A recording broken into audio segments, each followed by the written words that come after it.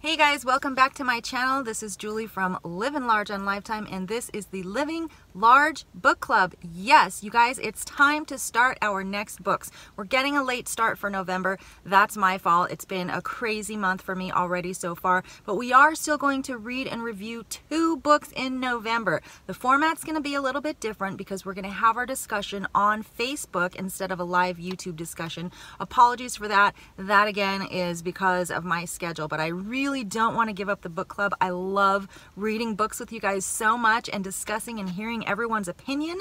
So I don't want to give it up. I need to find a way to work it into my schedule, and this is how I've the best way I found to do it. So we're going to have our discussions on Facebook, on the Team Living Large Facebook group. If you would like to participate and you're not yet a member, here's what you have to do. Number one, request me as a friend on Facebook. I am Julie Reyes Almanza. Number two, you have to do this part two. You have to send me a private message requesting to be added to Team Living Large.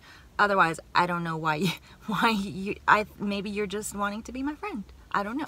So you have to do those two steps. Then you will be added to Team Living Large and we will have the book club discussions there. I just finished the couple next door last night, so I'm getting the questions ready to post. I will probably post them either tonight or tomorrow. So watch out for those on Team Living Large. Add your comments, add your thoughts. Let's get some good dialogue and some interaction going. I want to hear what you guys thought about the couple next door. So what's the next two books in store for November? I'm super super excited didn't get a lot of votes from you guys so i'm thank you to the few of you who did vote because your books won yay but i'm super excited because one of them i'm really really excited to read so the book that got the second most votes is Sharp Objects by Gillian Flynn. I'm so excited to read this book because this is the author of Gone Girl. Um, and also, no, I don't think she did The Girl on the Train definitely Gone Girl.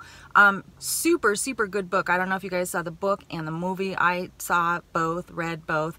Um, very, very good. So I'm very excited to see what she has in store for Sharp Objects. And I think also I may be wrong, but I think Sharp Objects is a series on TV somewhere. So anyway, I'm very excited to listen to that book, read that book, whatever you guys are going to do, please join me. So the book club discussion for that book is going to be on the third Sunday of November.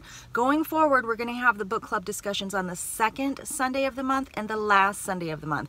But since we got a late start this month, we're going to discuss this book, Sharp Objects by Gillian Flynn, on the third Sunday of the month, not the second. And the book that had the most votes and the book that is going to be held, the discussion will be held on the last Sunday of the month. And that is just so I know that some people really only have time to do one book per month. So the most popular book is going to be the one that has the most time for you guys all to read and jump in on the discussion. So the most popular book, the book that won the most votes for November is Bird Box by Josh Malerman. I'm excited to read this. I think this may have been, um, was it an Oprah pick? I'm not sure, but I'm excited to read this. Bird Box by Josh Malerman, and the discussion for this book will be on the fourth Sunday of the month on the Facebook Team Living Large group. So join in, you guys. Leave your comment below if you're going to read these books with me. Let me know if you're going to read one of the books, both of the books, which one are you most excited to read, and go, go, get started now because we're going to have our first discussion, not this Sunday, but the next Sunday. I'll see you guys there. Thanks for watching.